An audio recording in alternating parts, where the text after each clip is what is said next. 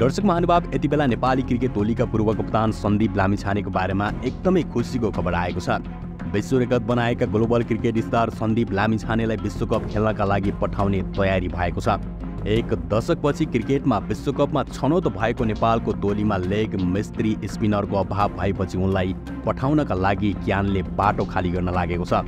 क्यानका उच्च पदाधिकारीका अनुसार गल्तीले केही पदाधिकारीको मिलिमहत्वमा एकलौती तरिकाले निलम्बन गरेकाले सो निलम्बन फुकुवा गर्ने तयारी रहेको स्रोतले बताएको छ। नेपालको टिममा क्वालिटी लेग स्पिनको खडेरी रहेकाले अदालतसँग अनुमति मागेर लामिछानेलाई आपतकालीन अवस्था आएकाले तत्काल अमेरिका पठाउने क्यानका एक उच्च अधिकारीले बताए। देशका लागि अदालतले खेल्न जान अनुमति दिने उनको विश्वास थियो। केही क्यानकै पदाधिकारीहरू भने सन्दीपको निलम्बन फुकुवा नगर्ने बताइरहेका छन्। उनीहरू न्यायिक प्रक्रियामा गएको विषयलाई चलाउन नहुने भन्दै निलम्बन फुकुवा नगर्ने पक्षमा छन्।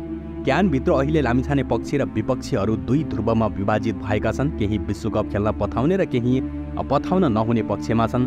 केही पदाधिकारीहरू भने सन्दीपको पछिल्लो खुलासाप्रति झस्किएका छन्। उनले क्यानकै केही पदाधिकारी अभियन्ता र मिडियाको मिलिमहत्वमा आफूलाई षड्यन्त्रपूर्वक फसाउन घटना घटाइएको थोकुवा गरेका छन्। यस विषयमा तपाईँको धारणा के छ? कृपया कमेन्ट गर्नुहोला।